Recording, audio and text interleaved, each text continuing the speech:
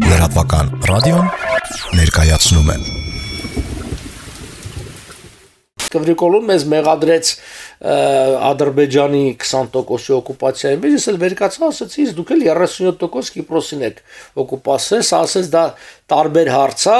Կիպրոսի ու Հունաստանի պատվիրակությունն էլ ոտի կանգնեցին, բա ինչն է տարբեր հարց։ Այսինքն ասածս այնա, որը արդեն 90-ականներից Թուրքիան դադարել էր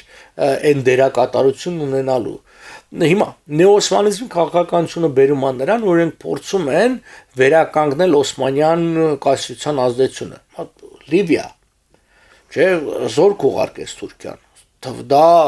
ծովից այն կողմ, դա այն տարածաշրջանն է, որը այո եղել է Օսմանյան կայսրության մաս, բայց դա կորցել է 1912 թվականին իտալա-թուրքական կամ իտալա-օսմանյան պատերազմից հետո Իսկն մի դարից ավել է արդեն, բայց իրենք հենց հավակնություն ունեն, ազդեցություն այդտեղ բաննացնելու։ Բայց սա մեզ համար լավ, այն չէ, լավ, որտեղ սա հանգեցնում է արաբների եւ թուրքերի հարաբերության լարվածության, ոչ միայն Սիրիայի արաբները, որոնք որոնց ղեկավարությունը Ալևիտ է, նաև Սունի արաբները, որը Լիվիա այդ Խաֆտարը, Մարշալ Խաֆտարը եւ այլն, այս բոլորը որ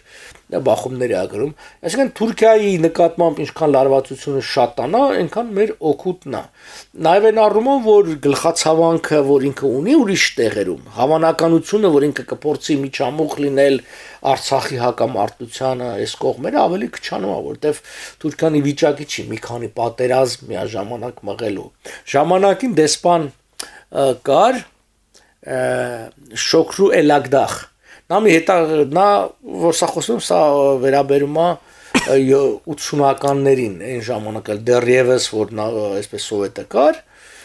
չէ դրանի վերջ էր արդեն սովետը քանդվելու ժամանակ էր ինքը մի տեսություն էր առաջացնում կոչվում էր 2.5 պատերազմի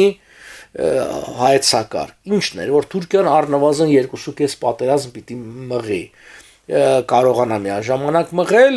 մեկը արևելքում իրենք մտածում էին, որ դա կարա Հայաստանը լինի, որտեղ մտածում էին, որ Հայաստանը անկախացավ, բնականաբար պիտի փորձի տեր կանգնել իր իրավունքներին, մյուսը Հունաստանն էր, իսկ այդ կեսը քրդերն էին, դա համար կոչվում էր 2.5 պատերազմի բան եւ ըստ էության թուրքական բանակը այդպես էլ իր կառուցվածքն ունի, որ ինքը կարա միաժամանակ այդ պատերազմը։ Տամբապյան ռուսները 102-րդ ռազմաբազան եւ Հայաստանը հա։ որքանով կհանդիսանա